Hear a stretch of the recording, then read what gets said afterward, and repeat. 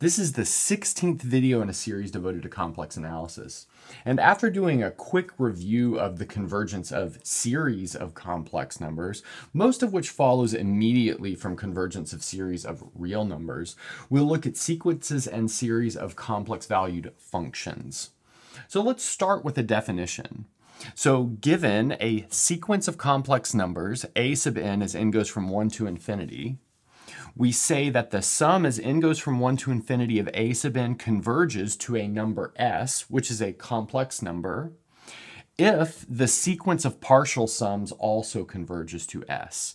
So here we've got S sub m is the sum from n to, or from n equals 1 to m of A sub n. And then in a previous video, we did sequences of complex numbers. So this pushes the convergence of a series to just the notion of the conversion of a convergence of a sequence, which we have already covered. And maybe I won't do this in this video, but I urge you to maybe check out some review material about standard results of real series. So you can look at like maybe it carefully done as in a real analysis class, or even just the results that you learn in Calculus 2 would probably be enough to review for what, we'll, what we will do. Okay, so let's start with a fairly straightforward result, but it's nice and it gives us an idea for how dealing with series of complex numbers is different than dealing with series of real numbers. And that is, we'll show that if the series, the sum as n goes from 1 to infinity of a sub n absolutely converges, then it just regularly converges. So if it converges absolutely, then notice that means that the sum as n goes from 1 to infinity of the modulus of a n converges. So I guess I haven't carefully written down what it means for a series to absolutely converge for complex numbers, but this is maybe like what the logical definition would be. Okay, so we have that converges. Okay, so another thing that we know, and this is like maybe from one of the first days of this class, is that we have the following inequality. The absolute value of the real part of a sub n is less than or equal to the modulus of a sub n. So let's notice I was careful to say absolute value over here on the left-hand side because I'm taking the absolute value of a real number. Whereas on the right-hand side, I said modulus because I'm taking the modulus of a complex number. So now let's notice that that tells us that we've got a nice series of positive real numbers given by this. So we have the sum as n goes from 1 to infinity of the modulus of an plus the real part of an is a series with positive terms. So let's maybe put parentheses here so that we see that's within the sum. And why is that? Well, notice since the modulus of an is bigger than or equal to the real part, that means if this complex number is totally real and negative, at worst, we just cancel this out to zero. So that kind of proves the thing that I said verbally. So let's maybe put a little box around this or over this and write that out. So this has only non-negative terms. And that's because we have this inequality right here, which maybe we could expand that out if we wanted to, to something like this negative modulus an is less than or equal to the real part of an, which is less than or equal to the modulus of an. Maybe that makes it a little bit clearer. But now we can do some comparisons. Notice we can include an absolute value here and we push it larger. So let's do this. So this sum, which like we said has only non-negative terms, is less than the sum as n goes from 1 to infinity of the modulus of an plus the absolute value of the real part of an. Okay, good. And that's because the absolute value of the real part will be bigger than or equal to the real part. That's pretty clear. But then we can use this inequality one more time to put these two together and maybe replace this one right here with the modulus of a sub n, making something larger. Then combining those, we see that this is less than or equal to 2 times the sum as n goes from 1 up to infinity of the modulus of a n. Great, which converges. So our assumption, kind of our starting assumption, is that this thing converges. So let's write that. Okay, so we have this thing converges. But now we have a series of non-negative terms and each of those negative non-negative terms is less than another series of non-negative terms which converges. So that means that this guy right here that we've been working with also converges by the comparison test. So this is also converges. And this is just the comparison te test for real valued series because we're taking the modulus in the real part. We only have real valued series right here. But now we can maybe extract this real part of a sub n from this series, and we'll see that we get the sum of the real part also converges. So let's see how we can do that. So we have now the sum as n goes from 1 up to infinity of the real part of a sub n will be equal to the sum as n goes from 1 to infinity of the modulus of a sub n plus the real part of a sub n minus the sum as n goes from 1 to infinity of the modulus of a sub n. And we're only able to do this because it was given that this guy converged and we just proved that this guy converged. So that means we can push them together and pushing them together cancels out that modulus and we get this real part of a sub n.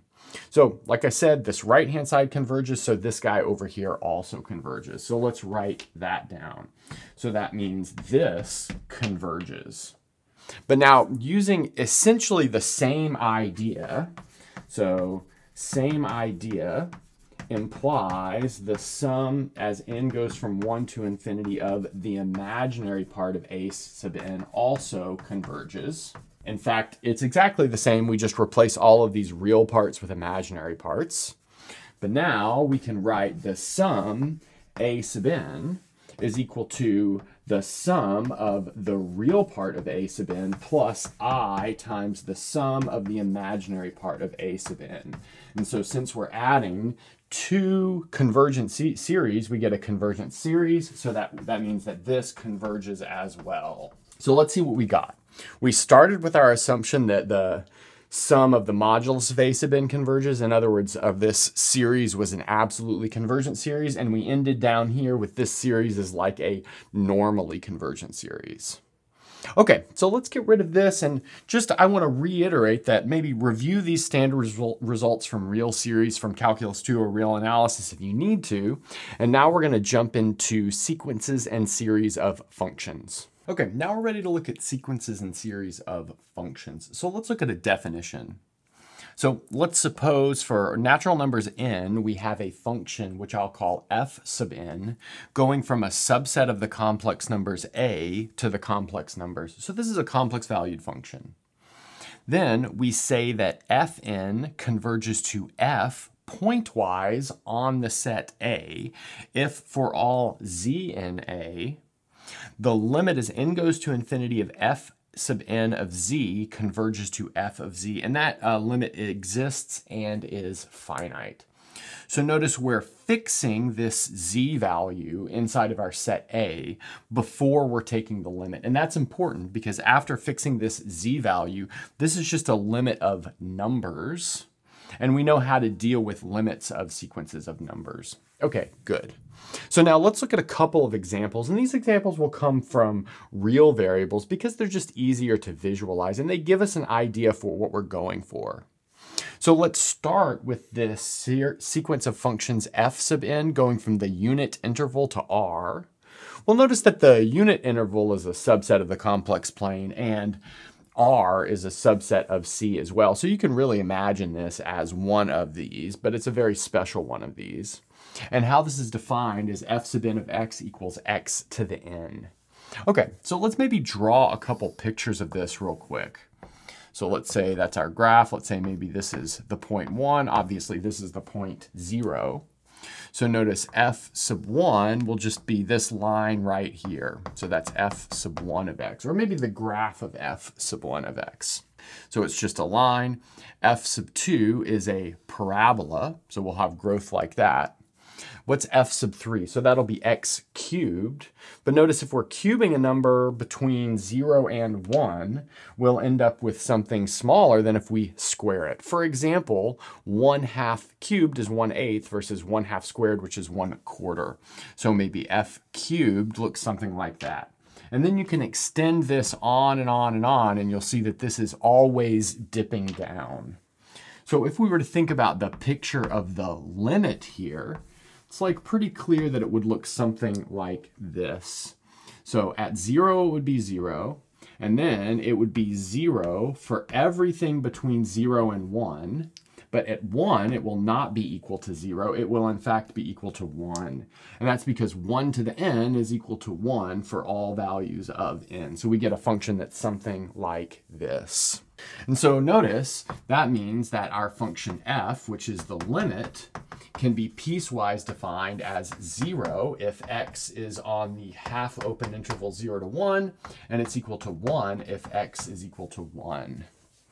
So let's notice that all of these f sub n's are continuous, but the limit is not continuous. So that's important. If we take a pointwise limit of continuous functions, we do not necessarily get a continuous function.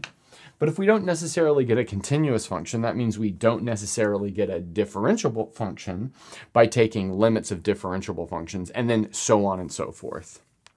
Okay, so that points towards something in complex analysis, which would be a pointwise limit of analytic functions will not necessarily give us an analytic function. Okay, and that really like points towards maybe a stronger definition than pointwise convergence, which we'll get to after this next example. Okay, so let's define some new functions, g sub n from R to R, to be defined in this piecewise form as follows. g sub n of x is equal to 1 over n minus absolute value of x over n squared, where x is between negative n and n, and it's equal to 0 otherwise. So let's maybe draw a picture of what's going on here. I think this is a pretty interesting function.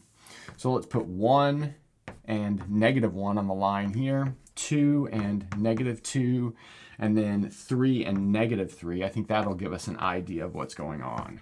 3 and negative 3. Okay, so for n equals 1, we have 1 minus the absolute value of x. That means it goes through the point 1 along the y-axis. So this would be like g of 1. And I'll just draw this portion of it, but it's 0 everywhere else. So it's that little tent that's kind of above the origin.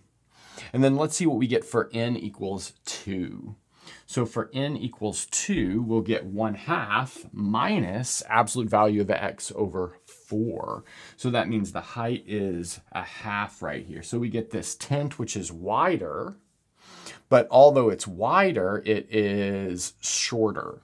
And then for n equals 3, we get something similar, but we have a 1 third. So we get something like that. So the important thing here is the area under all of these is equal to 1. And you can calculate that pretty easily just with the area of a triangle. So notice the height of this is 1 over n, and then the base is equal to 2 times n. So that's how we have constructed this. But that tells us that for all n in n, we have the integral from minus infinity to infinity of g sub n of x dx is equal to 1. Whereas if we're taking the limit here, what happens? I think it's pretty clear when we take the limit here, this descends down just to the real axis. So we get the constant function 0. So we have something like that. So note, gn of x converges to g of x, which is equal to the zero function. So I won't check that carefully, but I think that's pretty clear. But that tells us that the limit as n goes to infinity of the integral from minus infinity to infinity of g sub n of x dx is equal to 1, because there we're calculating the integral first and then the limit. Whereas the integral from minus infinity to infinity of the limit as n goes to infinity of g sub n of x dx is equal to 0. Because there we're calculating the inside before we're calculating the integral. In other words, the limit before the integral. And these are clearly not equal to each other. One is not equal to zero. These are definitely continuous functions, but this pointwise convergence of continuous functions does not satisfy the condition that we can bring the limit inside of the integral. And so it stands to reason a pointwise convergence of analytic functions will also not allow us to bring a limit within the integral. So that gives us more motivation that we should have a stronger definition for convergence, which is maybe a little better than pointwise convergence. And so let's get that on the board. So here's our stronger definition. So we say that the sequence of functions f sub n converges to f uniformly if for all epsilon bigger than zero, we have an n in the natural numbers, such that if n is bigger than or equal to this capital N, we have the modulus of f of z minus f sub n of z is less than epsilon, and this is true for all z in A. So let's notice what happened here. This n, which was built off of this epsilon, does not depend on our point z. Whereas before, when we looked at pointwise convergence, if we were to rewrite this definition of pointwise convergence using an epsilon n definition, we would see that the n would be allowed to be dependent on both epsilon and z, and that's because we've invoked this z before talking about this like size of the difference, whereas down here we've invoked it after. Okay, so just to reiterate, up here with a given epsilon, the n that you take might depend on your choice of z as well as that epsilon. But down here, for a given epsilon, the n that you take will only depend on that epsilon, and then it will work maybe perfectly for all z in A. So it turns out this is the definition to maybe make those things that didn't work on the last board work now. So in other words, we have a uniform limit of continuous functions is continuous and we're able to bring a limit inside of an integral. So let's prove each of those. So let's look at this first theorem. Let's suppose that Fn converges to F uniformly on A and each Fn is continuous. Then we'll prove that F is continuous. So this was probably proven, in, proven in a real analysis class. And the proof is essentially exactly the same, except I'll just use the word modulus instead of absolute value. Okay, so let's get to it. So let's say we are given some epsilon bigger than zero. Let's take an n in n such that we have the following inequality. So the modulus of f of z minus f sub n of z is less than epsilon over 3. So we're allowed to make this as small as we want, so we'll make it epsilon over 3 for that given epsilon. Okay, and let's reiterate the fact that this is true for all values of z in A. So next up, what we'd like to do is take a delta bigger than zero such that if we have the absolute value of, or I should say the modulus of z minus z naught is less than delta, then the modulus of f of z minus f of z naught is, or f sub n of z minus f sub n of z naught is less than epsilon over 3. And this is for some fixed z naught in A. Great. So why are we able to do that? Well, this is the condition of f sub n being continuous. Okay, so that's looking good. And then we need one sort of like bonus fact. Let's also notice that we have the following. The modulus of f evaluated at z naught minus f sub n evaluated at z naught is also less than epsilon over 3. And that's because this is true for all z in A. Okay, now we want to just put all of these things together. So let's maybe make our calculation, our calculation, the modulus of f of z minus f of z naught. So that's going to be less than or equal to, using the triangle inequality, the modulus of f of z minus f sub n of z, and then plus the modulus of f sub n of z minus f sub n of z naught and then finally plus the modulus of f of z naught minus the modulus of f sub n of z naught.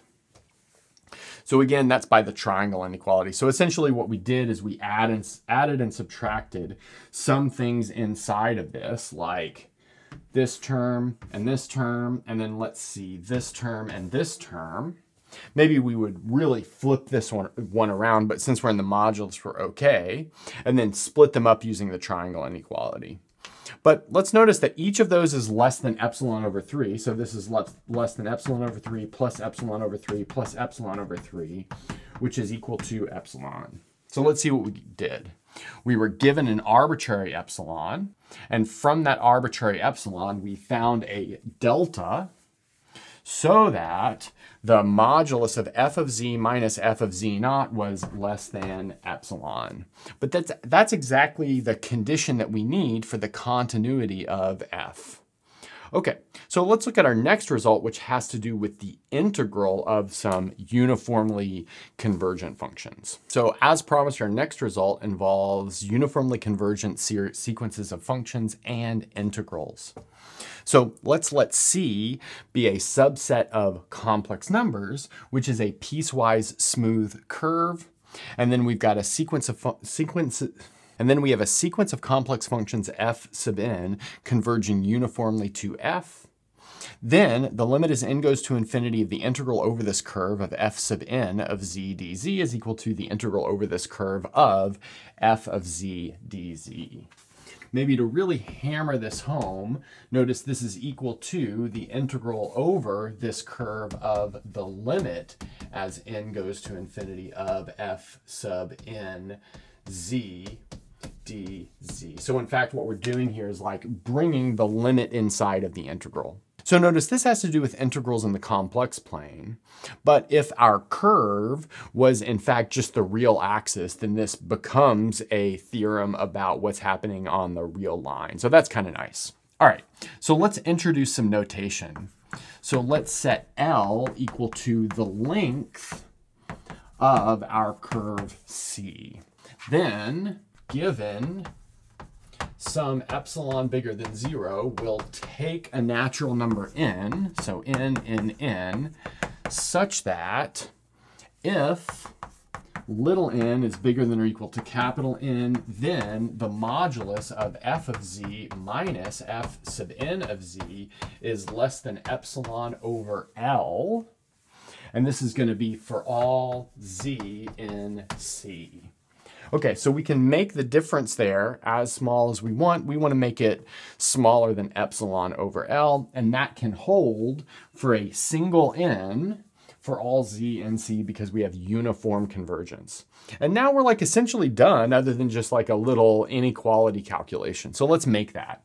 So let's look, look at the modulus of the integral of the curve f of z dz and then minus the integral over the same curve of f sub n of z dz. So we have that. But now we can bring that modulus inside of the integral and push the integral together using something that's like the triangle inequality for integrals. So this is going to be less than or equal to the integral over c of the modulus of f of z minus f sub n of z dz but now we can apply the inequality that we got. So this is going to be less than the integral over c of epsilon over L dz. But that's just the integral of a constant. So the integral of a constant will be that constant times the length of the curve. But recall that the length of the curve was L. So this is equal to L times epsilon over L, which is epsilon. That's exactly what we needed. Notice that's what we have here. So we have the difference of these integrals is less than epsilon. For n bigger than or equal to n, that's exactly the condition for this limit to be what we've written up here. So now let's look at a nice corollary to this involving analytic functions and how they pass through uniform convergence. All right, so now we've got a result which is firmly within complex analysis, and that is we're talking about analytic functions instead of just continuous functions. So let's suppose that a sequence of complex valued functions f sub n converges to f uniformly on a domain D, and each of these f sub n's is analytic, then so is the limiting function f. I'd like to point out here that we're no longer on an arbitrary set like we are over here. We're on a domain. Recall that that was an open set of the complex numbers that was connected, so a connected open set. Okay, so we're gonna use, we're gonna prove this using some previous results. So let's in fact use Morera's theorem, which is kind of a really nice way of showing that something is analytic. So let's start by supposing that we have R, which is a rectangle within D. And furthermore, the precise statement of Morera's theorem says that it could be a rectangle which has sides parallel to the coordinate axes. So we could draw a picture if we wanted to. So let's say this right here is our domain D, and then our rectangle would maybe be something like this. So this is R. Okay, nice. And now let's recall that if we can show the integral over that rectangle, or the boundary of that rectangle is equal to zero, then we have an analytic function. Okay, so let's do that. So we've got the integral over the boundary of the rectangle of f of z dz. So now we can use the previous theorem to rewrite that as the limit of the integral of the sequence of. So this is the limit as n goes to infinity of the integral over the boundary of R of f of z dz. So let's maybe point that out. That's the exactly previous theorem that we just got done proving. Okay, nice. But now we're integrating, sorry, that should be f sub n. But now we're integrating analytic functions over bounded closed curves. But any integral of an analytic function over a closed curve is equal to zero by Cauchy's theorem. So this is equal to the limit as n goes to infinity of the number zero. And like I said, this is by Cauchy's theorem. Okay, but that clearly gives us zero. And then the fact that we get zero for this value right here means that f is analytic by, let's recall we said Morera's theorem. So this is a nice result. So we've got uniform convergence. So the uniform convergence of a analytic function produces an analytic function. Okay, so now let's kind of boost this result to not only the uniform convergence of the analytic function, but also derivatives of an analytic function. So let's maybe get rid of this and we'll look at that result. Now we've got a bit of a technical result that actually gives us quite a bit of information. So let's suppose that f sub n is analytic on a disk centered at z naught with radius capital R. So I've drawn this picture right here. So this is the disk centered at z naught with radius capital R, so that's in peach color. Then we also know that each of these fn's, and then we know that fn converges to f uniformly. And then we'll show that for all little r less than this big R and m bigger than or equal to 1, the mth derivative of f sub n converges uniformly to the mth derivative of f on this smaller disk, where the smaller disk can be really any size we want as long as it is less than capital R. So I've drawn the smaller disk down here in yellow. Okay, so let's maybe get to it. So let's first suppose that we have zero, which is less than or equal to little r, which is less than capital R, like we have in the picture over there. And then we want to fix a number between those. So let's fix an r prime that is between little r and big R. So it's something like that right there. Okay, so if we were to include that in our picture over here, we would maybe have something like this. So we've got another radius here, and this radius right here is r prime. So let's notice it's between our little r and our big R. Okay, So now let's use the Cauchy integral formula to look at the nth derivatives of our function f as well as one of our terms from our sequence of functions evaluated at a point z, which is inside of this yellow circle. Okay, so let's do that. So we'll look at the modulus of the nth derivative of f evaluated at z minus the nth derivative or the nth derivative of f sub n evaluated at z. Like I said, by the Cauchy integral formula as well as the inequality which allows us to bring a modulus inside of the integral. That's like I've said a couple times today, the triangle inequality for integrals. This is less than or equal to m factorial over 2 pi. And then the integral over this circle w minus z naught uh, is equal to r prime. So let's maybe like underline that in green because that's our green circle over there. And then inside here, we have the modulus of f of w minus f sub n of w over, let's see, w minus z to the m plus 1 dw. Great. So like I said, we would get equality here if this modulus was outside of everything by the Cauchy integral formula, but then applying that inequality result involving integrals, we can bring it inside like that. Okay, but now the next thing we'd like to do is take this modulus to the numerator and the denominator. So let's do that. So this is going to be equal to m factorial over 2 pi and then the integral over this same circle. So that's going to be the modulus of z minus z naught, or w minus z naught is equal to r prime. And then we have the modulus of f of w minus f sub n of w all over the modulus of w minus z to the m plus 1 power dw. And now we want to get to like choosing an n to go with a specific epsilon. So let's see maybe how we might do that. And that has to do with the structure of what's going on with inside of this integral as, as well as the circumference of what's going on around this green circle. So it turns out that you need kind of a technical idea here. So let's say we are given epsilon bigger than zero. We want to make this less than epsilon, but in order to do that, we need to look at a new object, which I'll call epsilon prime and this is going to be r prime minus r to the m plus 1 times epsilon over m factorial times r prime, like that. And then we'll take a capital N, which is a natural number, such that if little n is bigger than or equal to capital N, then the modulus of f of w minus f sub n of w is less than this epsilon prime. And that's possible to do because we have uniform convergence here. Okay, nice. So that means we can take all of this right here and replace it with epsilon prime, giving us an inequality. And then we just have to get a handle on the size of this thing in the denominator.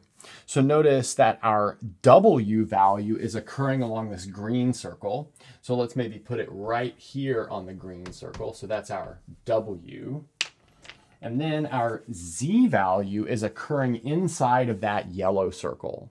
Well, let's notice that the closest that z can come to w is like right next to it like this.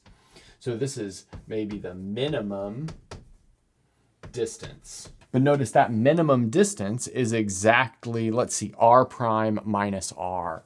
So that tells us the modulus of w minus z is bigger than or equal to r prime minus r. But then from there, we can maybe reciprocate that and we get 1 over the modulus of w minus z is less than or equal to 1 over r prime minus r. And from that, we can kind of see where we're getting this r prime minus r to the m plus 1 here.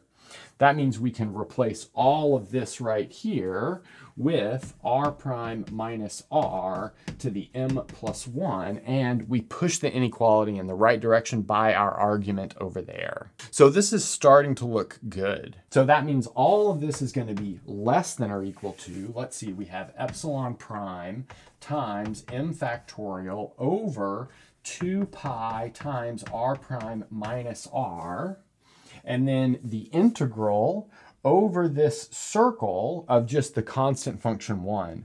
But the integral over the circle of the constant function 1 just gives us the circumference of the circle, which is 2 pi times the radius. So in this case, the radius is r prime. So we have 2 pi times r prime here. But now, by the way we set epsilon prime equal to this crazy thing, the epsilon prime will get canceled down by everything over there just to epsilon. So that means this is equal to epsilon. But now looking at what we have, we have the difference between the, the nth derivative of our limit function evaluated at z minus the nth derivative of our, of our function f sub n for a suitably large value n is in the end less than, this should be a strict less than epsilon. But that's exactly what we need to show this uniform convergence since this z was chosen arbitrarily. Okay, so let's get rid of this and we'll end with some warm-up problems. So I've got two warm-up problems for you. So the first has to do with the real valued function. So let's show that the sequence of functions f sub n equals x to the n over 1 plus x to the n converges pointwise, but not uniformly on the interval from 0 to infinity. Then our next warm-up problem has to do with a very famous function called the Riemann zeta function. And that Riemann zeta function is defined in terms of zeta of z equals the sum as n goes from 1 to infinity of 1 over n to the z. And so you can think of this as like a sequence of partial sums if you want to think about it as a sequence of, or a limit of a sequence of functions if you'd like to. So your goal is to show that this converges uniformly for all z where the real part of z is strictly bigger than 1. So notice that if z is equal to 1, then we get the harmonic series, which we know does not converge. Then, since it uniformly converges, maybe you could like find its derivative given the fact that we have a sequence, or in this case, a series of functions that have a derivative. Okay, that's a good place to stop.